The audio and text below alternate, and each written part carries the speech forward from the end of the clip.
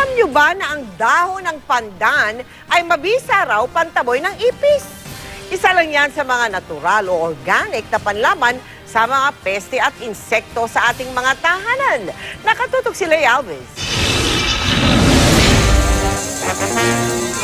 Nangungonsumi ka na ba sa mga peste at insekto sa bahay? Huwag nang mag-init ang ulo dahil may mga simpleng pangontra dyan na matatagpuan lang sa inyong mga kusina. Ipis ba ang problema? Kaya yan ang dahon ng pandan. Yung na, na, na, napaperceive nating mabango, eh para sa mga insekto hindi. So usually mga ipis hindi nila gusto yon. So maaari mo siyang ilagay sa cabinet para maiwasan yung pagpasok ng ipis. Kung lamok o maliliit na insekto naman ang problema, pwedeng panlaban dyan ang amoy ng balat ng orange.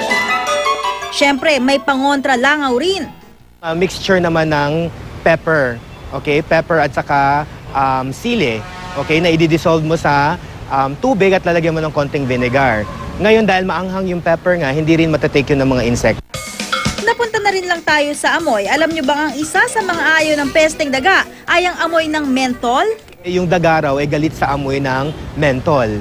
Yung uh, eucalyptus smell, maglalagay ka lang ng konting eucalyptus sa mint oil sa isang maliit na cotton bud at ilagay mo sa isang corner. Ang asin naman, akalain yung panlaban din pala sa anay.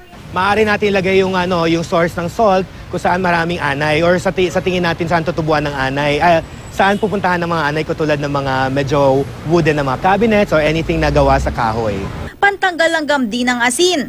Ang nangyayari kasi, pag nasasobrahan sila ng salt, nadidehydrate yung katawan nila at unti-unti rin sila namamatay. Tandaan, di na kailangan magpakalayo-layo pa para lang masolusyonan ang karaniwang problema sa bahay. Dahil minsan, ang mga bagay na hindi nyo inaasahan, marami palang pwedeng paggamitan. Lay Alves, Nakatutok, 24 Oras.